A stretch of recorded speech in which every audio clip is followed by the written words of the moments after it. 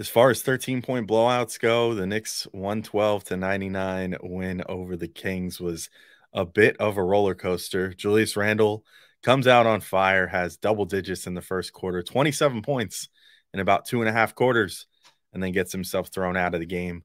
RJ Barrett picks up the slack, playing some minutes at the four, and gets 27 points himself. But a little bit of injury concerns for Jalen Brunson, who first fell on his hip and then sprained his ankle.